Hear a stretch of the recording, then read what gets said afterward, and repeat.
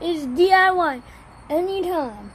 Today, we're gonna improvise and get this stick through the table with a screwdriver and something else. I can't remember the name of it. Let me make sure my phone's up good. Yes, guys, it's probably gonna fall over anyways, but let's go.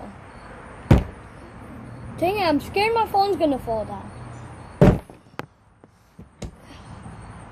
Oh, sorry, guys, it went out, but look.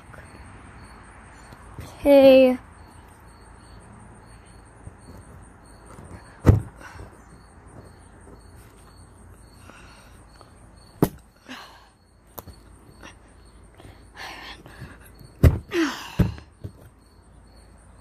Is this close enough? Uh, no. Yeah. Now.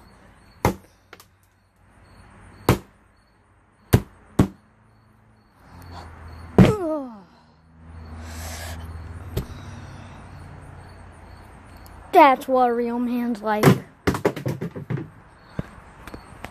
Lego! I pierced it all the way through. Here, watch.